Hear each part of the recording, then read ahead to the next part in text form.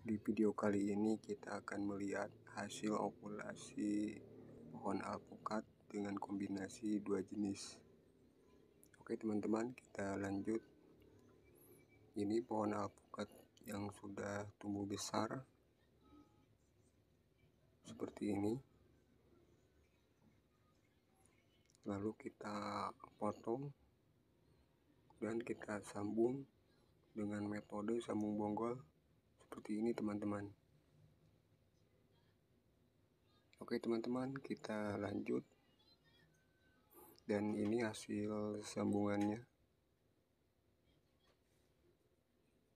Sudah menyatu dengan sempurna.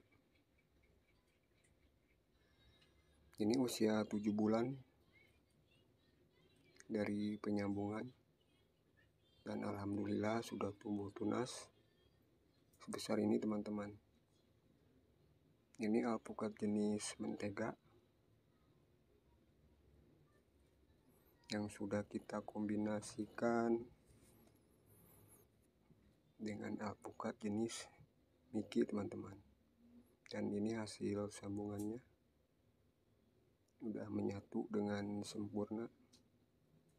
Ini usia 7 bulan dari penyambungan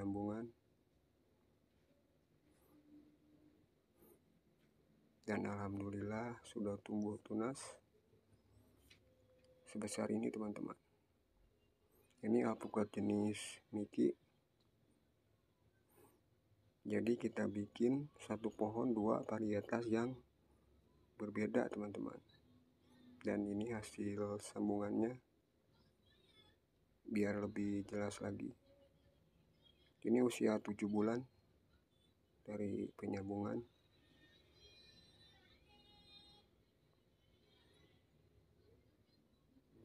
Oke teman-teman cukup sekian video dari kami. Bye bye